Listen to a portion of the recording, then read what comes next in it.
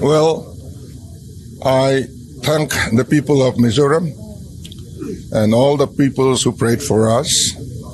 And I thank God. It is only with divine intervention that we can achieve this goal.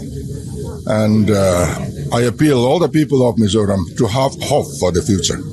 Uh, we talk about the formation of a new government. Uh, he has appointed me as the new chief minister, and he had uh, asked me to form a government, which will be done on Friday at 11. Swearing will take place here.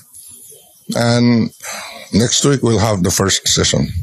And he has uh, assured us a full cooperation.